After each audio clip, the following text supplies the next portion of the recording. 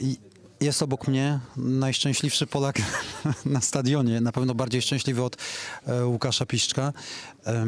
Nie chciałbym pobrać jakieś bardzo górnolotne tony, ale wydaje mi się, że Monaco jest najbardziej kompletną drużyną, jaką widziałem w ostatnich dwóch dniach w Lidze Mistrzów, bo i dobrze broni, i świetnie atakuje, i dobrze ma stałe fragmenty gry. W zasadzie, czy wy macie jakieś słabe strony?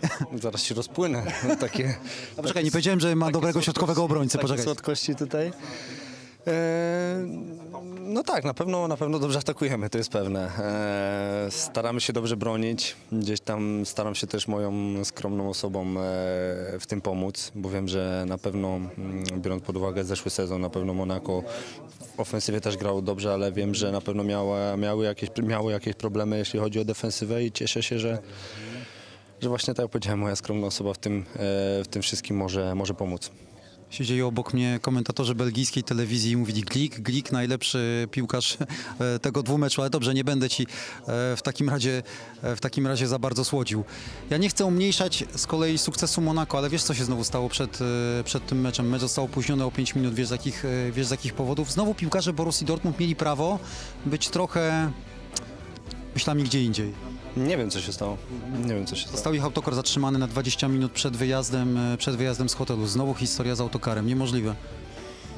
No ale to nie tobie odpowiadać na to. Okej, okej. Mm, Nie wiem, znaczy ja, ja na pewno gdzieś tam byłem e, po tym pierwszym meczu na pewno okej, zdarzyła się taka sytuacja, ale wszyscy mówili o piłkarzach Borussii, jacy to byli poszkodowani i tak dalej, ale w tym wszystkim e, chyba nikt nie wspomniał, że my też to przeżyliśmy w jakiś sposób i, i nasze rodziny, bo my też nie spaliśmy do późna, bo mieliśmy trening mm, w tym czasie później Wiadomo, że, że, że to nie było tak, że my przyjechaliśmy do hotelu i, i z uśmiechem od ucha do ucha siedzieliśmy w lobby, piliśmy sobie jakieś drinki i, i się dobrze bawiliśmy. Tylko nie, też nie mogliśmy spać do późna, były nasze rodziny na stadionie, tak samo na drugi dzień i te, też o tym myśleliśmy. Także dzisiaj myślę, że e, we mnie to osobiście się działo i chciałem udowodnić, że to nie był e, przypadek, że to nie był zbieg okoliczności, że wygraliśmy ten e, tylko pierwszy mecz i chcieliśmy to dzisiaj, dzisiaj pokazać, że po prostu byliśmy zespołem, że jesteśmy zespołem lepszym i że na ten awans po prostu awansowaliśmy sportowo.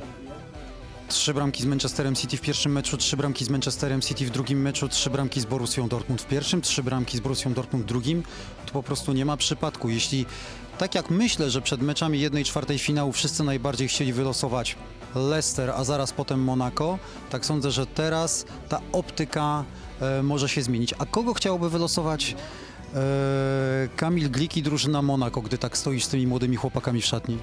Na pewno już wybór jest mały i, i obojętnie kogo by się nie trafiło, na pewno myślę, że teo, teo, teoretycznie, tak, teoretycznie no, można powiedzieć, że największe szanse byłyby być może z Atletico. E, nie wiem, na pewno z Juventusem byłaby to dla mnie fajna przygoda. E, zagranie derby w półfinale Ligi Mistrzów z Juventusem byłaby to świetna sprawa, ale zagranie też z Barceloną też sama przyjemność, także Także obojętnie, bo już kogo nie trafimy, to, to każdy mecz będzie, będzie miał fajną swoją historię i, i miejmy nadzieję, że, że uda nam się jeszcze tego snu nie, nie przerywać. Poczekaj, powiedziałeś Barceloną, Barcelony, Barcelony już nie ma. Jest Monaco, a Barcelony nie ma. Tak, Juventus- Juventus i, i Real, Juventus, Real, Atletico Madryt i, i jesteście wy. No dobra, to na koniec się teraz... E, czekaj, książę, książę Albert przyszedł do szatni?